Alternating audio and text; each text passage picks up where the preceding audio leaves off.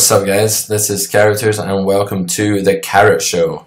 This is the show where every week I will be reviewing a session played by one of my students or a member here on grinderschool.com, and I will be awarding carrot points, good plus carrot points for good actions when the student does something that I agree with, and bad negative carrot points when the student does something that I deem wrong, or spewy, or too timid or whatever kind of bad adjective you can you can ascribe to a poker decision.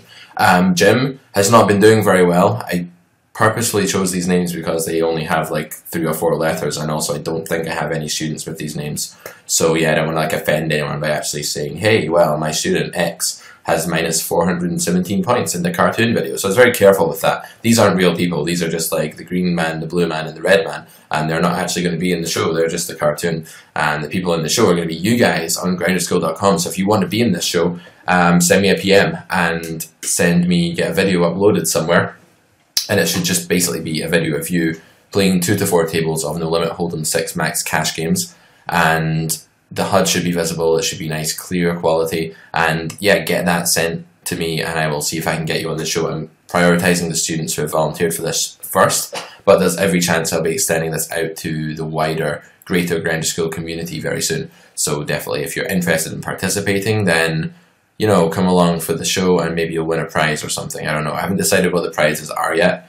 Um, but you know, don't take the competition part of this too seriously. It's mainly instructive, obviously, but I think it'd be fun if we make it a little bit competitive and award some points for good spots, spots played well, spots played badly. So the idea is going to be that I'm going to pause the video um, every time that I think there's a worthwhile decision to be made by the student, and I'm and when I pause it, I'm going to say what I think the best line is and how many carrot points each action is going to be worth. So, for instance, if there's a spot where hero faces a three bet and he has pocket sevens and he's out of position and it's a big three bet against a Breg with 60 BB stacks, then folding is going to be worth like one carrot point because it's really obvious calling is going to be worth minus three and four betting is going to be worth minus five or something like that. So basically, the worse the decision, the more minus points you get. If you make a really standard, easy choice, you'll either get zero or one for it. But if you actually make a play that impresses me because you do something that most people would make a mistake with, or many people might go wrong with, but you do it right, then you're going to earn yourself more like three or four or five carrot points. If you do something like incredible that I really like, you might even get like up to 10.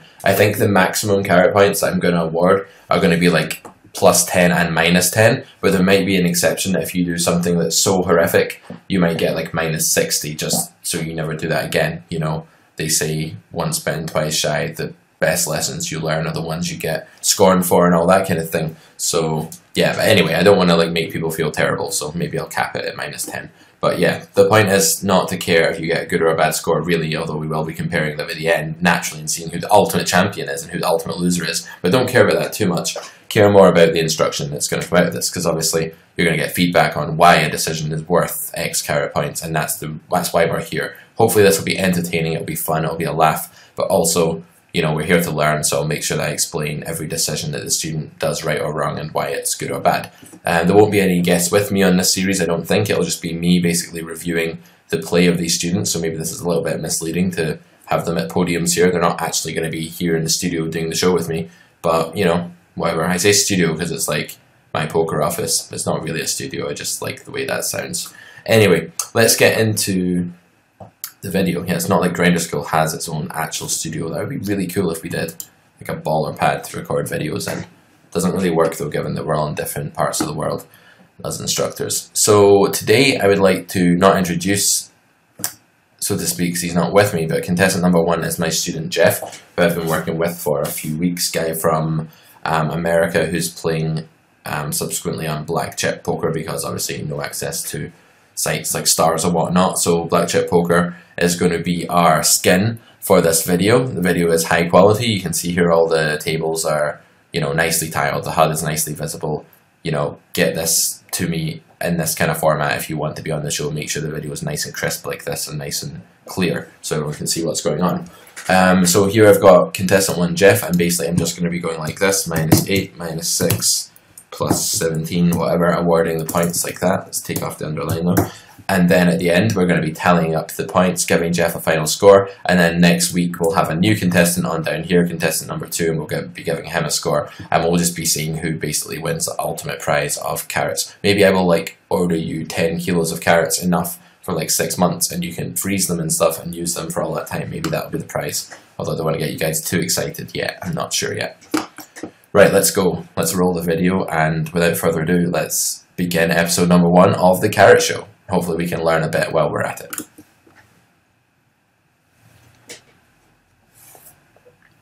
So, a decision like this, right off the bat, we have a spot that's worth one carrot point, but I missed the mark on not being able to pause the video before it happened. We face an open from a 21-17 on the button, a min open, and honestly, like this can't be too bad to call with 10-5 suited. It's kind of close. I think it's like somewhere between a call and it depends if you, what you think about your population here. Um, it depends how often they actually fold to three bets, like whether or not you want to have like a polar or linear three bet range here. I think on this site people just tend not to fold very much from what I know, so I might just start off linear here if my recollection of of this site is correct. Um, I'm trying to remember whether this is actually ACR or whether it's carbon. I think Black Chip Poker is a carbon skin. I could be wrong on that. Maybe someone can correct me who actually plays this site. I should really know these things. I teach people on it all the time. But anyway, um, I'm going to award for calling here. I'm going to say that's plus one carrot point. It's definitely reasonable. Folding is also plus one carrot point. I think it's really close. And I'm going to say we should start off with a, a linear range here against this population because it's 10NL on a weaker site. Um, I know this site's fairly soft. I don't remember exactly how soft is it? Wait, no, if it's ACR, it's probably a little bit less soft. Anyway, people don't fold to 3 bets on ACR very much. People don't fold on Carbon or uh, Bovada either. Obviously, it's not Bovada because they're fish. So I think we should start off linear in this spot, honestly. So I'd award 3 betting this hand, probably minus 1. I don't think it's very good. So I'm just going to start off. Jeff decides to call this spot. I'm going to start off nice and kind and award plus 1 carrot point right away for that decision. So off to a flying start, scoring the maximum in every possible spot so far, which is good. On this flop, I mean, I think that we've just flopped too well to, to fold here. So it's definitely going to be a check call. It's not like we're over the moon about it, but I don't really want to turn this showdown value into a bluff. So I'm going to award plus two carrot points for a check call here, uh, minus one for a check raise, and minus three for a check fold, because I think check folding would be really bad when we flop this this well, basically against a really wide are perceived to be probably quite wide button range. So makes a standard check call, so we'll go ahead and just the plus two carrot points for that. And on this king turn, I mean, you can fold, honestly, you're at a point in your range where you have a lot of better hands, you have draws that you'd rather continue with, that you could raise with here, definitely have a raising range here. I'd raise like a bunch of two pair, a bunch of like king queen, a bunch of good draws as bluffs, sets for value, obviously. And with 10-5 now, I would just be check folding, but the turn checks back, and now the question is, do we want to turn our hand into a bluff on this Nine of Hearts River? I think we don't really have very much air in our range here at all. I think we're very, very close to the bottom of our range, and Villain can for sure have Queen X. So I actually like turning this into a bluff. Um, we don't block any flushes or anything, but I don't think that flushes are just checking back that turn so quickly very often. So I think Villain's range here is mostly some better hands, like better five, sixes through jacks, queen x, all of which we can make fold.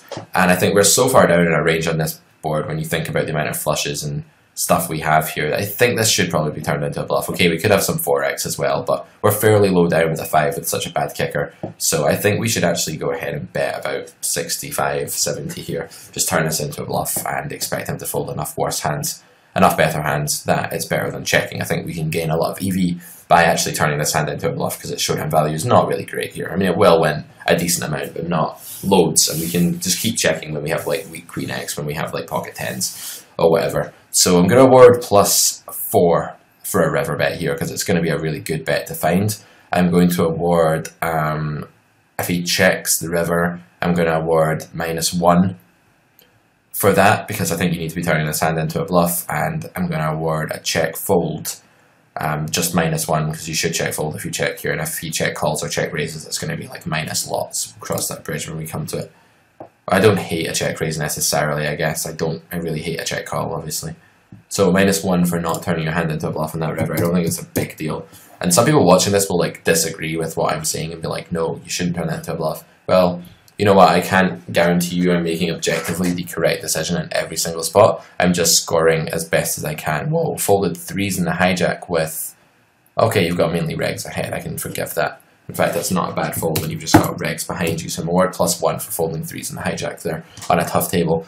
Um, so I'm just making the best, the fairest scoring I can. It's the first time I'm doing it, so please don't feel like I'm being harsh intentionally or whatever. I'm just basically trying to trying to be a fair judge. And obviously, yes, I'm a coach and I'm an instructor and have a fair bit of experience playing and teaching poker, but it doesn't mean that I'm going to be right about every decision um, that is made. This is a clear fold. You don't get any carrot points for just folding 5-4 off versus a 2.5x open in the blind. It's just too easy. So you have to do something generally like that could be messed up by a reasonable player or you know a, an improving player to actually award carrot points. You can't get a point just for doing something completely mundane and routine.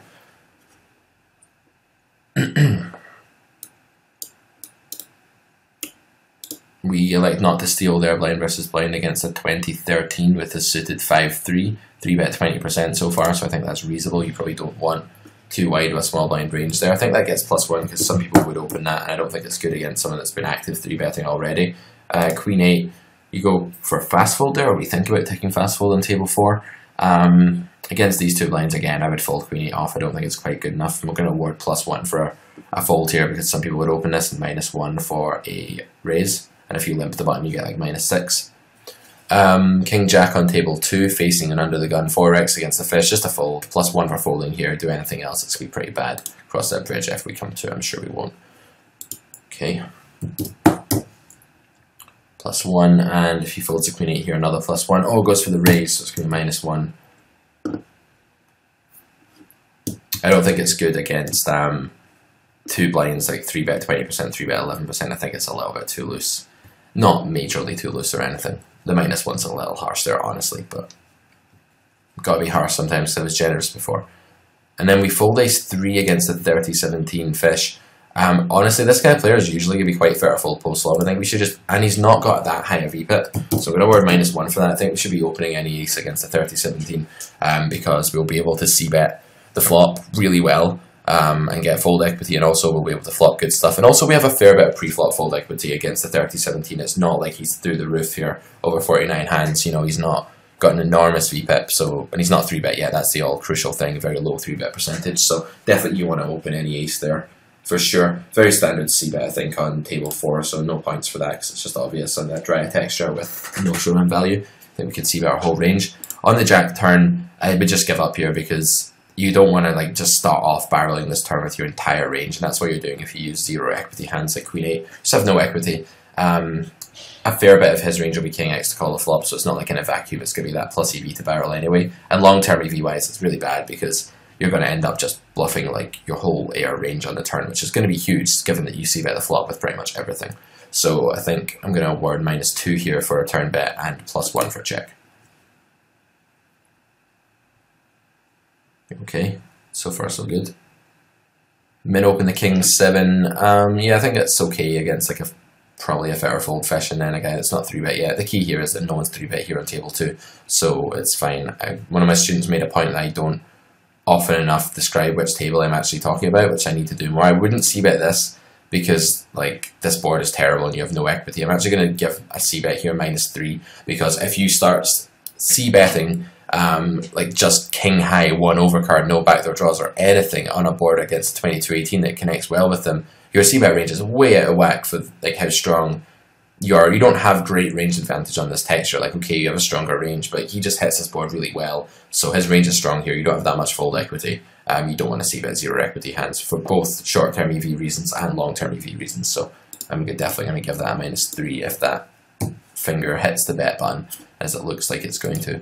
So an unfortunate turn of events there, but that could be a leak. And one thing I'm going to do in these videos as well is say what leaks I think the student has and what things they should probably look to work on. Three bet ace queen, which seems pretty standard, but versus cut off, no carrot points for that, and I would just bet the flop. Also seems standard, nothing for that either. So it's just obvious. On this turn, um, what you're going to get three streets against here. Is this a reg? I don't think it's a reg, because he wasn't full stacked. So against a fish, I would just bet three times here for value. I think your hand's too good to not. It's 26-14. He's not full stacked. Just go value, value, value. There's a lot of combos of um, ace 9, ace 10, ace jack, ace 8, ace 7, ace 5, ace 2, ace 3. These are going to be like more combos than the other ones that beat us. There are not that many combos of better hands here. He calls flop really fast as well, which is not indicative that he has a set or something. Normally people think about if they're going to like slow play there. So I would just go for three streets of value. It's a little bit thin, depends what the river is as well. If the river's like a jack, maybe not. Um, but on a blank river like a six or a four or something like that, definitely going for three streets. So betting turn is worth one point here, checking turn worth minus three. And then we give up turn on table two, and then we get there on the river. So we definitely need to value bet. Very easy value bet, I would say, if he checks to us, plus one for making that. If he bets himself, it's going to be a call, plus one for making that as well. Anything else will be minus points. When the fish shoves here, you have to call on table one. Um, you're just getting a really good price. You have to call like 485 into a pot that's already like 1374 plus 485. It's like 1860 basically you're calling into. So I mean, because you get your 485 back, like you need like 26% equity. You have that against the fish. He's going to shove worse top pair and stuff like that easily. Um, so got to call. I think I know he's passive. It's a little bit annoying, but you're going to have 26% equity. You probably don't have over 50%, no, but you have over 26%. So table one, um, I'm going to say that calling is going to be worth three carrot points. It's definitely a good spot to find a call. I'm going to word minus four for a fold here. I think it's a pretty big mistake. People may end up with negative totals because I'm overly harsh we check back the river there. I think we're missing a value bet. Um, so I'm going to award minus two for missing the value bet. Man, I feel like such a bad guy, so I just awarded like four minuses in a row. And if we call here, plus two. If we fold, minus three. Yeah, plus two. So we get those two carrot points back right away. So no harm done there, really. It's all good, Jeff. Oh, are we going to call? Oh no, oh it's not all good, I spoke too soon, we're going to fold, which I really don't like, because you need 26% equity and you're against a weaker player who can for sure be shoving worse top pair. You need to actually think you're good less than a quarter of the time there to fold, and it's just not going to be the case with ace queen. He's going to have the same hand a bunch, he's going to have ace jack ace 10 sometimes, who knows, fish up with weird stuff. Yes, you will lose there, I think more than half the time, you're not going to lose 75% of the time, definitely not. Just bear in mind equity needed there, you really have to have to think about the amount of equity you actually need to to call before you go ahead and make that fold. So definitely consider that target in your head nice and clear.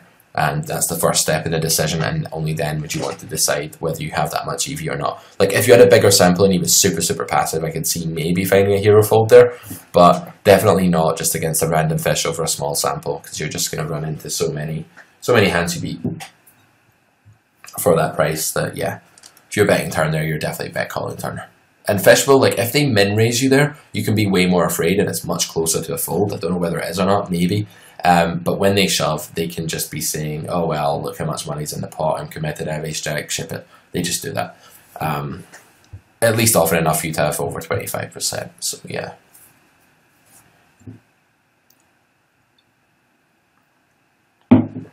And there'll be a bit of variance to this show as well. I mean, you may play really well at the end of your session, but I don't get time to review that part, and you make mistakes at the start. So when you send me these videos, make sure you're playing well from the beginning. Like, try and play your best game, basically.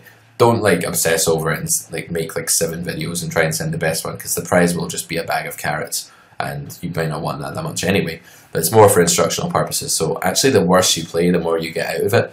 Um, the competitive element's more for fun. So you're basically trying to get as much out of it as you can. So if you want to send me a horrific session for me to give minus, minus, minus, um, that's fine. Like, you'll get a lot out of that as well, guys. Like, definitely consider, you know, what you're getting out of it.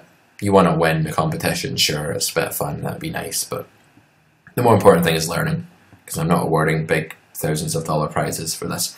Um, Jack 6,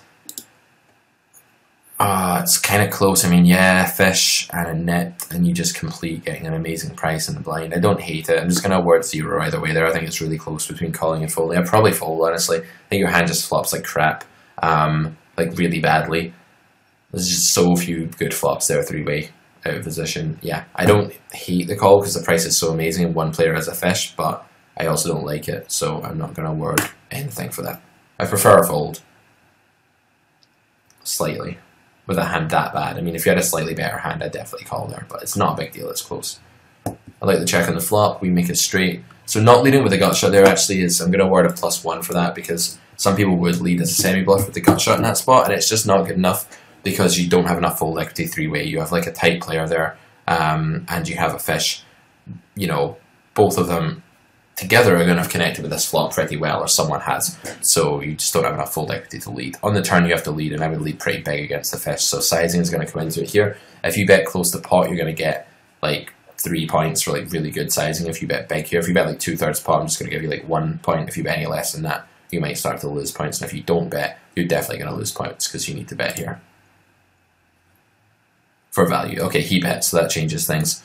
Do you call? Do you raise? Um, you want to keep the fish in the hand here. I don't think there's too much value to raising against the reg. He should be folding most of his worst hands here, and he's not good. He will, he will have a set sometimes, but I think keeping the fish in the hand is probably more valuable. When no one bets the flop, probably no one has a flush draw too often either, so I'm not so concerned with the flush. I mean, it's close, honestly.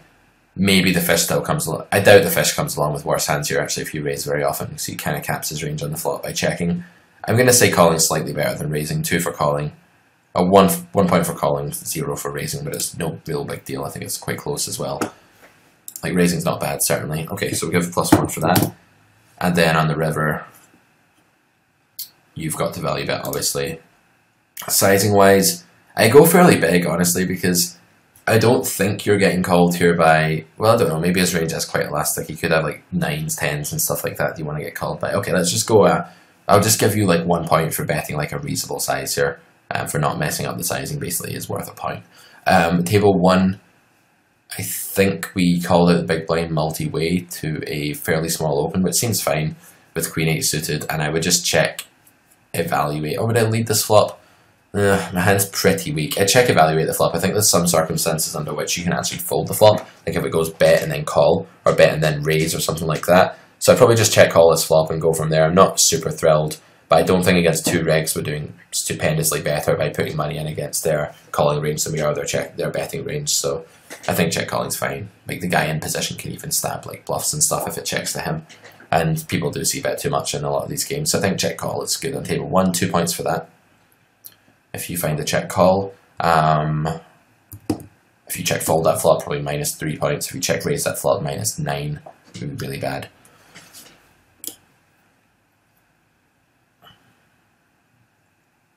Good thing there's not money resting on this, or people would be like sweating so much um, watching it. Okay, plus two for the check call. That's good. Especially against the stabber, who can have a fairly wide range there. And I missed the bet size there. I was going to give you like plus one just for a reasonable bet size. So let me just see what that was on table three. 108, yeah, that seems good to me. We get plus one for that. So, redeeming the score, Jeff, redeeming it. Decent start, then a shaky period, and now things are looking up again. So, I don't know what your total is. I think it's like slightly negative or around zero right now. That's okay. That's a solid start. You're not expected to score like loads of positive points. In fact, if you guys get a positive score, that's definitely like encouraging. A positive score would be really good. If not, then you know plenty to work on. Don't worry about it. But don't think that getting a minus score is like horrific. I would probably, mm, yeah, I guess you should call that turn again. I mean, 10x isn't super likely. There are a lot of draws. Think plus one for just finding that call and turn again on table one is good. Sorry guys, I'll try and make sure I specify which table I'm talking about in case it's not obvious. And on this river I would check fold, like King Jack gets there, Ace Jack, stuff like that gets there as well. And any Ace High Heart Draw gets there. So all the a lot of air is now gone from his range. So folding river here is going to be worth plus two carrot points. It's definitely good.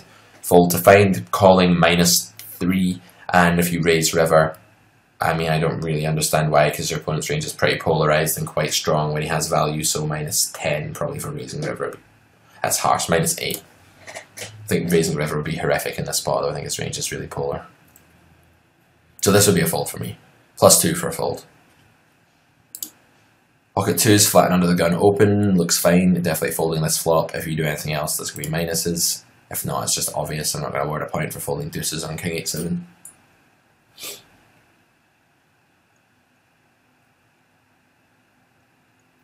Oh, the call, not the call. He makes the call, not good. Don't like the call. I'm going to have to give minus 3 for that. So yeah, I mean, it's a spot where basically your opponent has a has a bunch of air before the river. Sure, like you can have like 8, 9, Jack 9, which you can still have on the river. King Jack and Heart draws forever. A lot of those have got there. They've made a value hand that's either checking or value betting. So air has been removed from his range quite substantially. So at that point, you're then bluff catching only against Jack 9, 8, 9, if he has those at all, if he even flats those pre against the under the gun open, which he may well not. Or you're bluff catching against like some other heart draw, like I don't even know what other heart draws, 8, 7 of hearts or something like that, 9, 8 of hearts. Not many combos, whereas there are quite a lot of King Jack in his range, or King Jack suited, pocket fives, 10x at randomly bet the flop for whatever reason, ace queen is in his range for sure. There's a lot more value hands and bluffs now on that specific card, so you've really got the fold river there. Um, you need about, what was the bet size? Just to look at it from a required equity point of view. Yeah, 166. Okay, I mean, the price is decent, but honestly, I don't think people bluff this size either, to be honest. And Ace could even value bet this size for sure. It's a bit smaller. Okay, yeah, you need like 28% here, no, less, 26% to call here or something. I don't think you have it.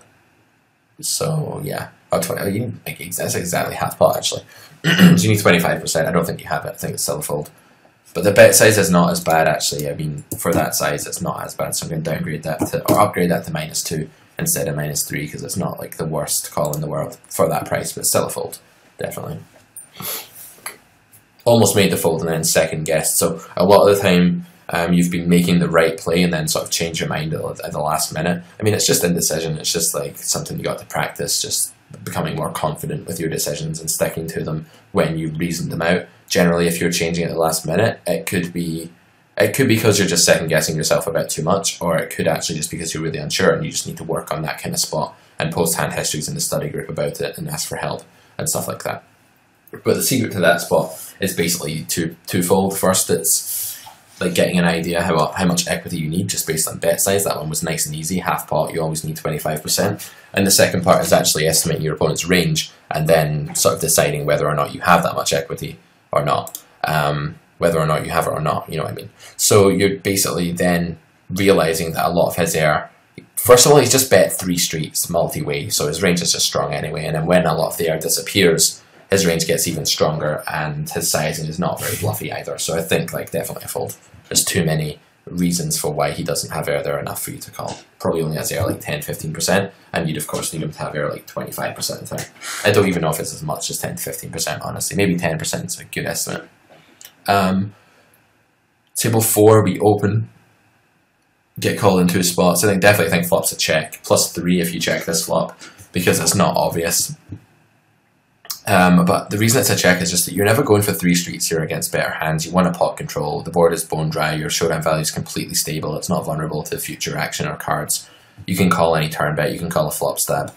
You don't really gain much by betting at all. I'd rather pot control, leave their ranges wider, and get my value on later streets. And also, I guess, balance my checking range because I will give up here when I have really bad equity like pocket sixes and stuff. So definitely like to have some ace in my checking range here.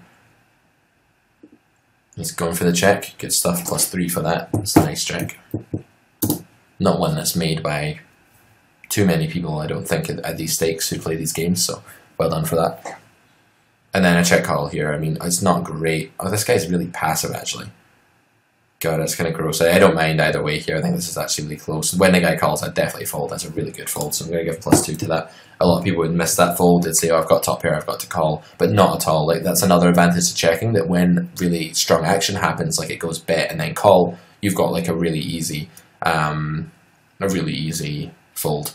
Here, um, I say it's a really easy fold, but it's not an obvious fold for a lot of people to make, but it's clearly best.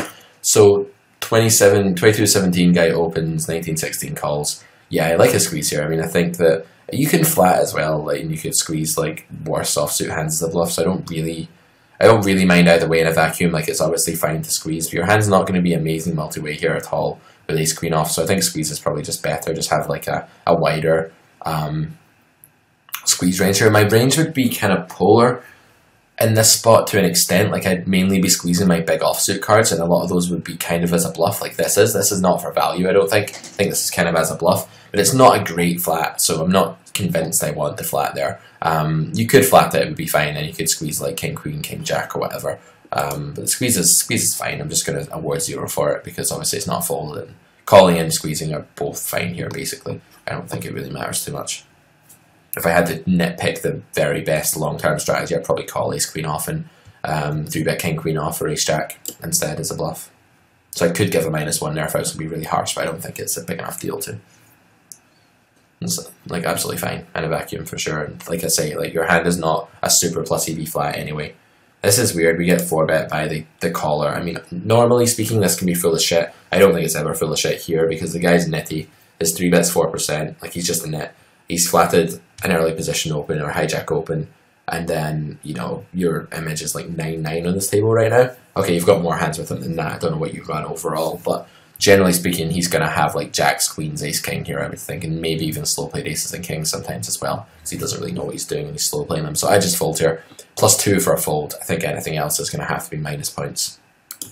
Like if you had a read that this guy was like out of line or you have history, fair enough. I can't pick that up from the video, so sometimes you'll be unfairly penalised when you've actually got a read that this guy does this as a bluff, but most people won't with these stats in these positions, so fold is good.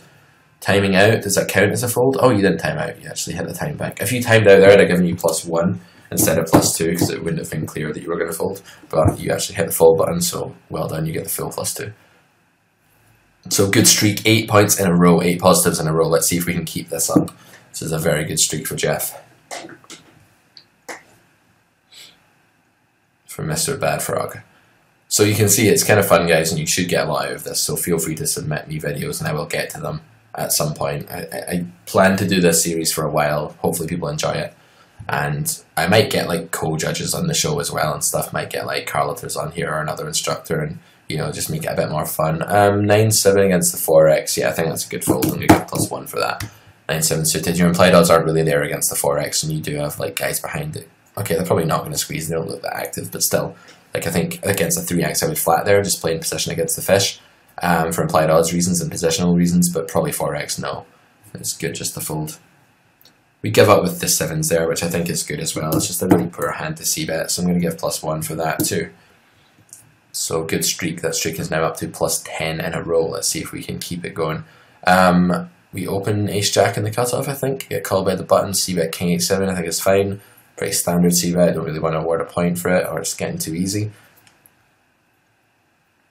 Take it down, nice hand, all good.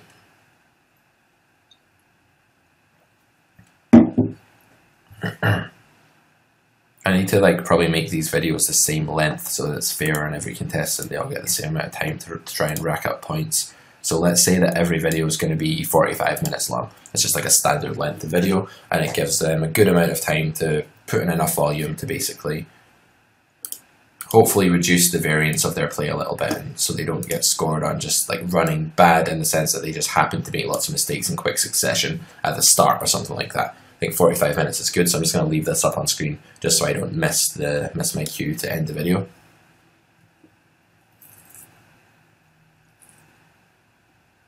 Uh, is in the small blind here. Um, basically, this is a really bad hand to three bet, like really bad. It, its frequent strength is awful. So when you three bet this against a fish who is like stationary, who this guy seems to be, 34-19, okay, if he's fit or fold, it's not horrendous, but it's a really poor hand to use because like 8 ninths, 9 tenths of the time it flops an underpair to a higher board. So it's just an, it flops horribly. So basically, turning this into a 3-bet bluff is awful. You obviously can't 3-bet it for value.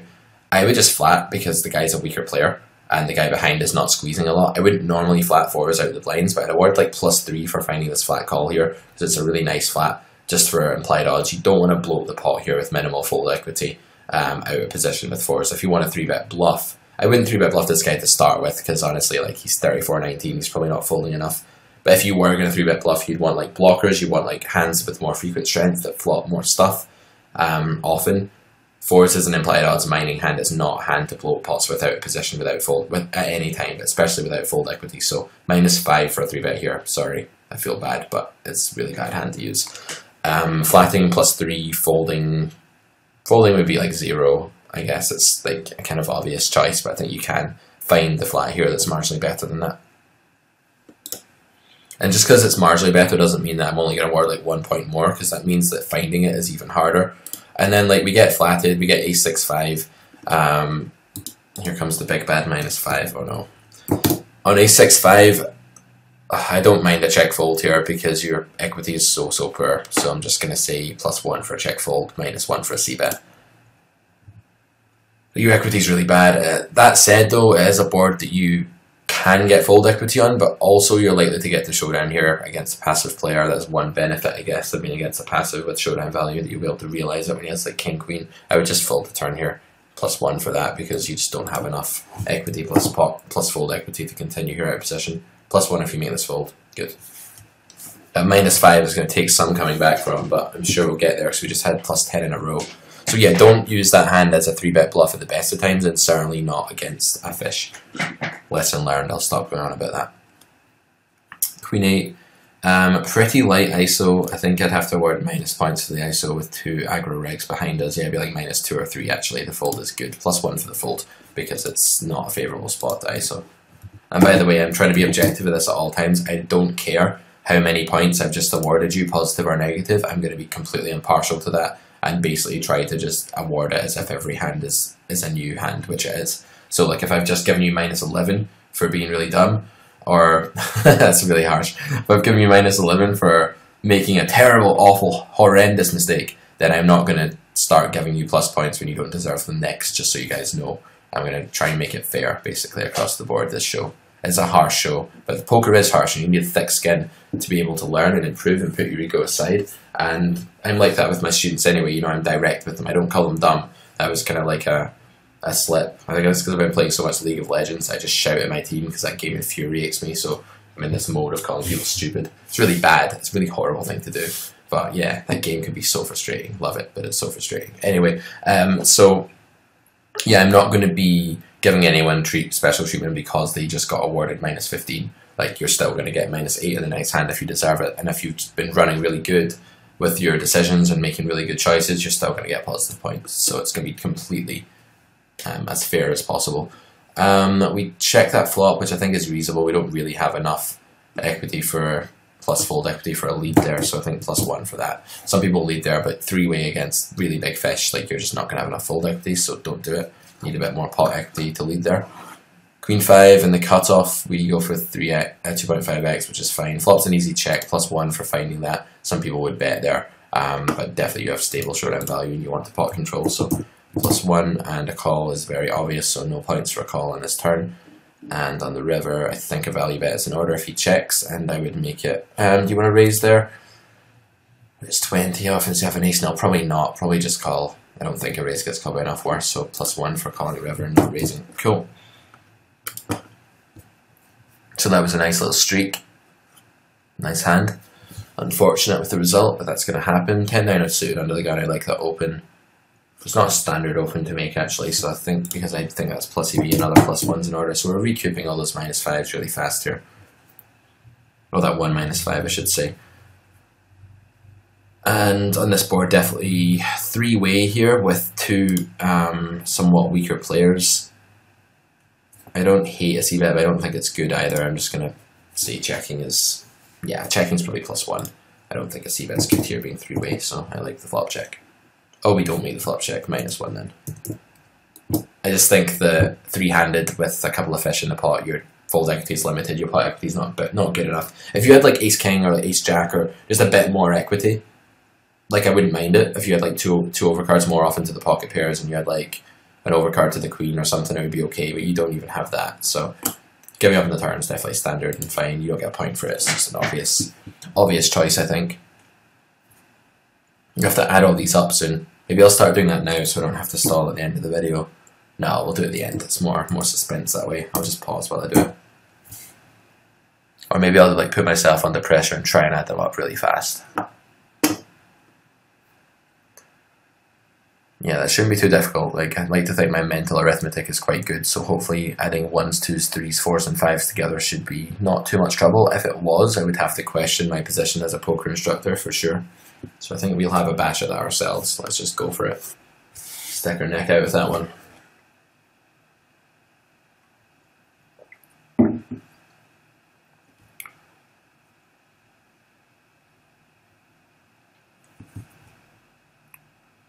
So we face under the gun open here on table four, and the guy is folding to three bets. I think that's 79%. Is that what that stat is?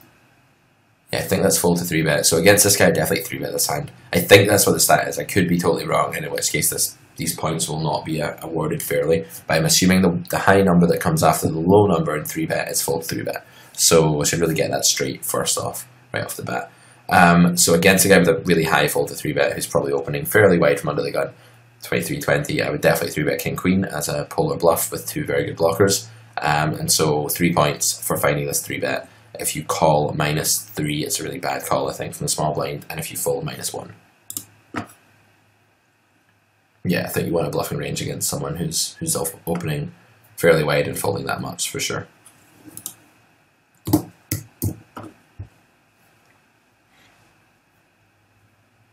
Just going 2.5x, I like against a nitty looking big blind. it's is my general size. I definitely see that here. I mean, you've got like one overcard back there straight draw. Board's fairly dry, it's going to be fine.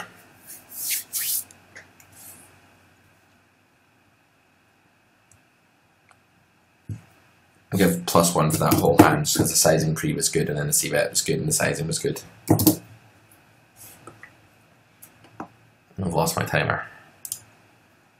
Okay, so we have four minutes left to make some more balling decisions. You're going to have to like pull out the stops here to get an immense positive score. on some plus tens in the next few minutes. Let's do it. Uh, yeah, good set nine for sure. I think pretty obvious though. I don't think it deserves a point just because you've got another fish behind you and stuff kind of annoying flop because we do flop some equity, but not really that much. Um, go for a check here really quickly. I don't really like it. Hold on. We're in a cutoff here, right? Yeah. I would bet you need to protect your hand, basically, and it's a decent semi-bluff and you have equity when called. Like, if you check here, it's not horrible, but I think that you just give away, like, so much equity to overcards here. Like, when pre-flop raiser checks, he just has two overs a lot and button can also just have two overcards. It can be four different overcards against you. You actually have the best hand pretty frequently here. You want to protect that. You can even get called by ace high that has a gut shot and get value, and you can protect your equity and even turn your hand into a bluff on later street. So I bet there would have been like plus two or three. I'm going to have to say minus one for the check on that flop. You don't want to be check calling against the fish as well. I mean, you've got fish to act after you. Would rather bet and get called by his ace high and stuff, or would you rather check and just put money into the pot against better hands because surely we're not folding there. Same on the turn, you got bet for protection. There's four over cards out against you. Minus oh minus two for that. Like it's even more important now. You have the best hand just so so often when it checks twice there. Got to bet that turn. Got to protect that equity. There's four overcards. There's one of them. This makes someone the best hand like 30 40 percent of the time. It's pretty grim. And now like we quickly call here. I don't even know that I like it. Like this is a value bet a lot. I don't hate it either. Gonna award zero for this call. You have a player threat behind that kind of hit the jack, and you can actually.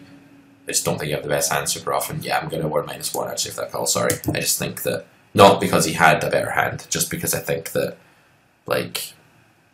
No, actually, I might. No, random fish do. Like, there's a guy behind you, though. This is the problem. Like, you don't just have to beat that guy. You have to beat the guy behind you as well. I just don't think it's a bluff that often with that sizing. Yeah, minus one. Sorry, man. It's going to have to be.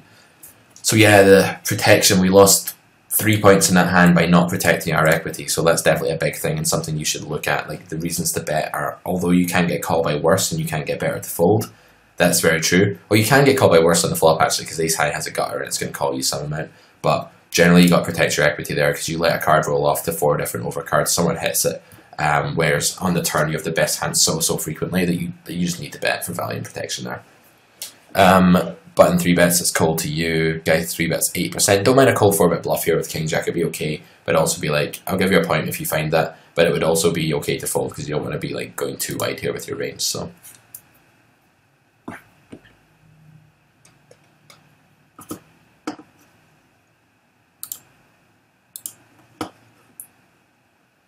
One minute left to make the magic happen. and we'll see what our first score is for the Carrot Show's very brave debut contender, Jeff. Thank you very much to Jeff for sending in this video and for, for stepping up to the plate and being the first one to actually get their game scrutinized to such a level that they're getting positive and negative points awarded to them. Like it's definitely like if coaching was like that, it would be like a really unpleasant experience, I would think, because your coach is like minus five, minus five, like scoring you all the time. It's like being in school, everyone hates quiz day when you're not good at the subject. And let's face it, we're not all great at poker, otherwise we wouldn't be getting coached and stuff like that. I'm not even great at poker, I'm just like more experienced than the people I teach. That's the way I see it, because it's such a difficult game that you can always improve at. And like I remember in school, like if it was a subject I hated, having to do a, a test it was just like the most annoying thing. So I bet it's a bit like that, and it would be horrible if coaching was like that. So coaching is not like this. It's not like minus five points bad. But I will say to people, you know, you can really improve here by doing X and Y, and don't sugarcoat things, but definitely awarding points is not the best way to teach people by putting them under constant stress and pressure. So, yeah, that's why I say don't take the competitive points element of this show to heart. It's basically for fun. The instructional part is the fun, the main thing. Okay, gonna wrap up there and we're gonna tally up Jeff's total. So, let's see how he's done. So we have plus 3 plus 2 plus 5. Yeah, I'll pause the video. That's going to take me like like 30 seconds of me not of you not wanting to listen to me actually ramble on and do that, and then I'll be back with a score. And we're back with Jeff's final score for episode one of The Carrot Show, and his score comes in at an impressive debut performance of plus 12. So, well done, positive score right off the bat, more good decisions than bad ones, and definitely main areas to work on would be protecting your equity, um, thinking about when to three bet polar or with what hands to take advantage of fold equity there, and also just uh, evaluating how much equity you need before you make a call and just seeing if you have that much equity against your opponent's range when you're facing like a river bet or all in, and all the other stuff, the more minor things that I mentioned in the video as well. Thank you very much to Jeff for taking part in the first ever episode of The Carrot Show. I'll be back next week with episode number two. If you have any feedback, comments, or questions, let me know. And if you'd like to be on the show, um, send me a link to a video that I can download. Um, of the same kind of quality with the HUD visible tiled tables that we looked at there with Jeff's one. So see you guys next time. Hope you enjoyed, and that's all from the Carrot Show for this week.